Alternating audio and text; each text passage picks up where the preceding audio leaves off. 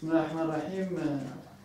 أنا أود أولا أن أكد ما جاء على لسان رئيس الحكومة والأخ أمين عام للآثار المعاصرة الأستاذ عبد اللطيف وفي الواقع اليوم ما يمكن إضافته وهو أنه نحن حكومة تحديات.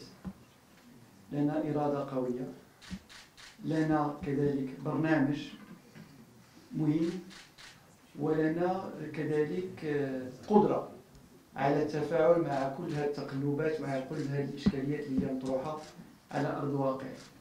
هدفنا الأول وهو خدمة المواطنات والمواطنين. هدفنا الأول كذلك وهو الوفاء بالتزاماتنا في البرنامج الحكومي. ومن بين هذه الالتزامات وهو آه، إخراج مليون فقير من الفقر.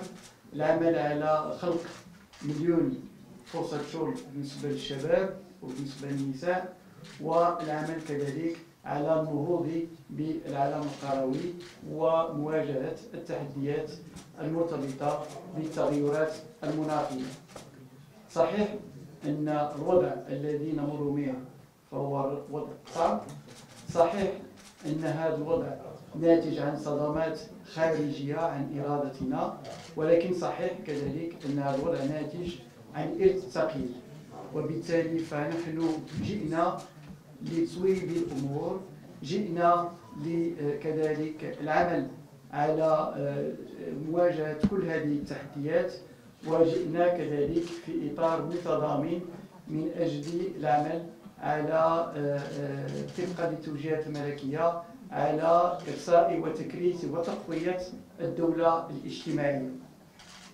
اليوم ما يمكن تأكيده بكل قوة وهو أننا سنظل أوفياء لالتزاماتنا وسنواكب المواطنات والمواطنين ونعمل على تقليل من العبء عليهم وسنعمل أساسا على إعطاء نفس قوي أولا من أجل آه، تقوية وتكريس الثقة ديال المواطنات والمواطنين ثانيا العمل على تسريع وتيرة الاستثمارات العموميه ولكن كذلك الاستثمارات الخاصة في هذا الإطار. تتبعتم كما العدد ديال اللقاءات اللي كانت ديال لجنة الاستثمارات واللي عطات الأكل ديالها وكاين اليوم إمكانية ديال ديال خلق 130 ألف فرصة شغل اللي هي مبرمجة في إطار الاستثمارات الخاصة زيادة على مجهودات مبذولة من طرف الحكومة على الصعيد الوظيفة العمومية ولكن كذلك